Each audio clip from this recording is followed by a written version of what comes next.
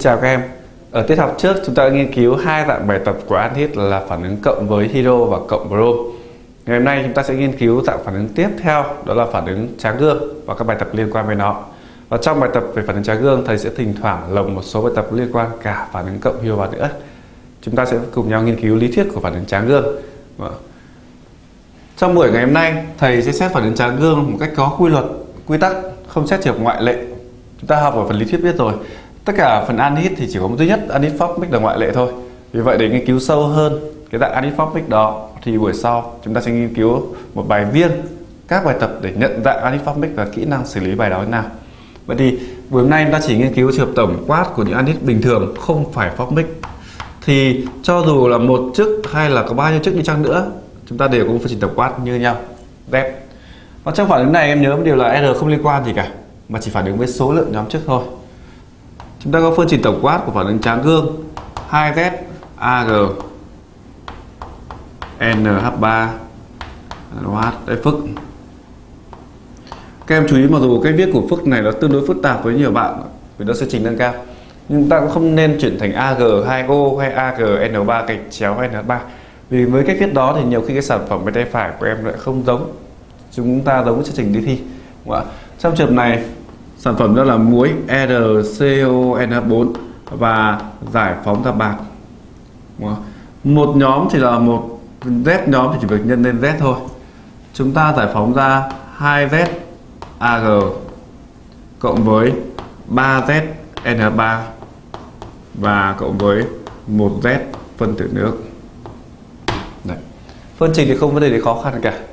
Và bản chất phương trình này vì nó đơn giản, nhiều khi các em không cần viết phương trình, mà em hay tỷ lệ là một ăn hít ra, hai bạc nếu đơn chức, đúng không vì vậy, nếu đa chức ta làm như nào? Nếu em lấy số mol bạc, chia cho số mol anhit đúng không? Chúng ta được là 2z vậy thì z bằng gì? Các em nhớ nhá. Lấy bạc này, chia số mol anhit thì được là hai z nhưng tôi chỉ muốn tính z thôi.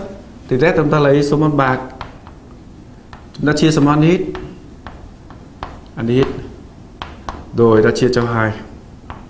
Thì đây là cách nhẩm nhanh để tính được số nhóm trước là bao nhiêu. Các em chú ý được chưa? Trừ trường hợp anit formic đây.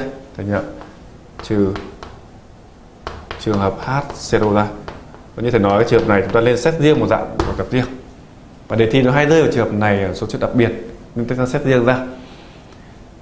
Vậy thì trong quy luật ở bài này, nhiều khi chúng ta có hỗn hợp nó không cứ phải là một anit đơn chức mà không phải là tất cả đều đa chức mà có thể là lẫn là cả hỗn hợp đơn chức và đa chức vậy em sẽ thấy một kinh nghiệm này này. Trong bài thi nhiều khi muốn lay hơn, ta nhìn thấy tỷ lệ mol. Chúng ta có một mol anhit thì có z mol CO kết quả chúng ta thu được là z mol bạc, đúng không? Như vậy, chúng ta sẽ tìm được một mối quan hệ thứ hai rất quan trọng là gì?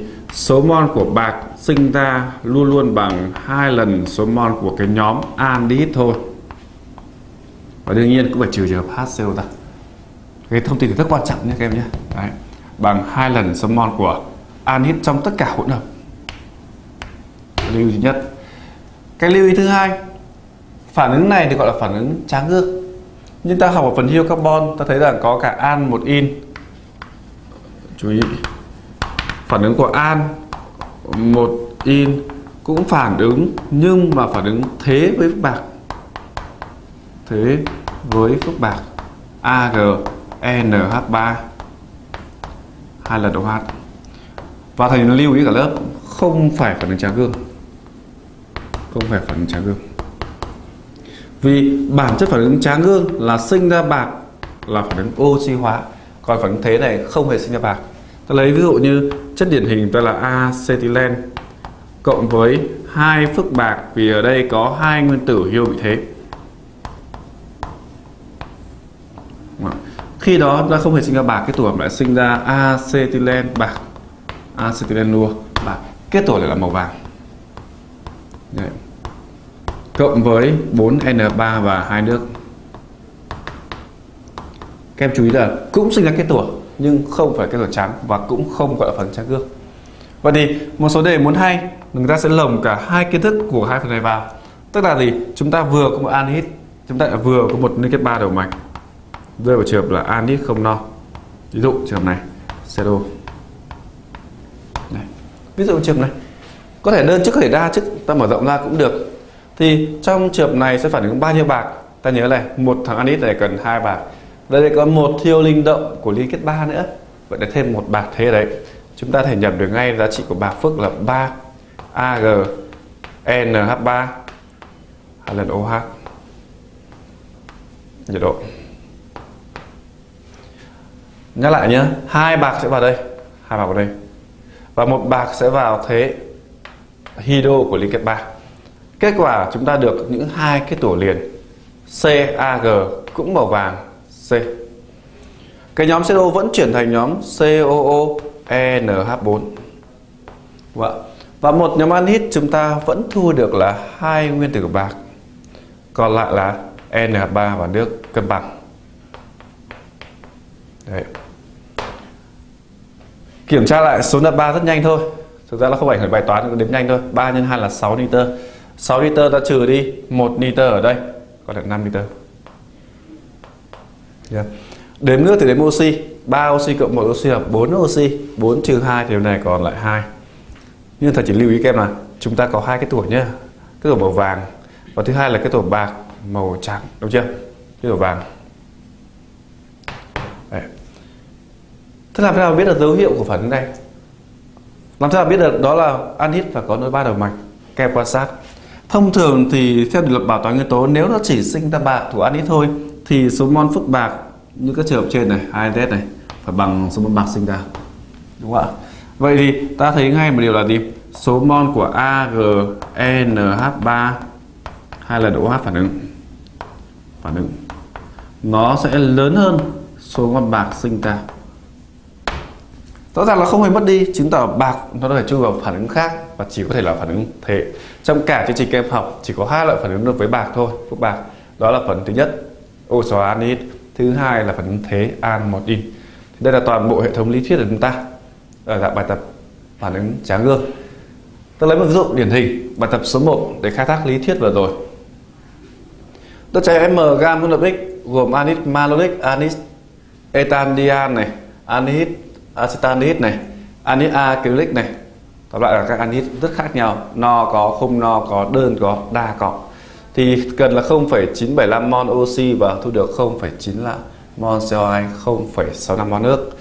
Cũng lượng đó đem phản ứng tráng gương ta thu được là bao nhiêu gam bạc? Và trước tiên chúng biết x là gì đã. Được.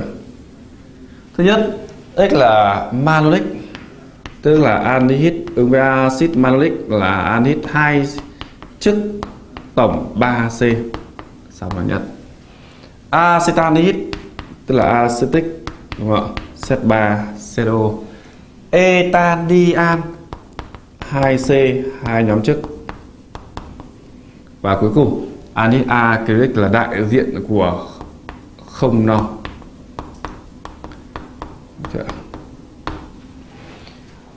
Nhiều bạn là nghĩ chuyện rằng là à thì nó có no không no nó có k bằng 1 k bằng 2 rồi lấy chuyện n NCO2 trừ là nước. Ta thấy không quy luật ở đây. Vì có những trường hợp k bằng 2 đơn chức nhưng có trường hợp k bằng 2 là, là, là, là hai chức vậy đâu không có dùng được. Vậy thì bài này rất tổng quát đúng không ạ? Không có quy luật nào thì tốt nhất chúng ta cho về công thức trung bình. Một công thức duy nhất R trung bình CO tất cả Z chúng ta thỏa mãn tất cả trường hợp và nếu ta nắm được cái nhóm trước này rồi ở đây không có aniphonic Vậy thì nếu em tìm được số mol anit bao nhiêu giống lý thuyết chúng ta chỉ việc nhân đôi lên ta được số mol bạc đúng không ạ? Tức là 2Z3 chẳng hạn. 2Z bạc. Hay là cách khác, thầy nếu có một nhóm CO chúng ta tráng gương chúng ta sẽ được là 2 mol bạc.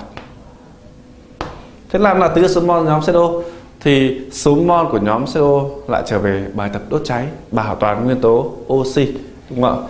chúng ta có ngay bảo toàn nguyên tố oxy thì dù là đơn chức hay đa chức, ta có NOC ở trong hỗn hợp X cộng với 2 NOC phản ứng, biến thành NCO2 nhân 2 cộng với N nước nhân 1 Kem thay số mol vào.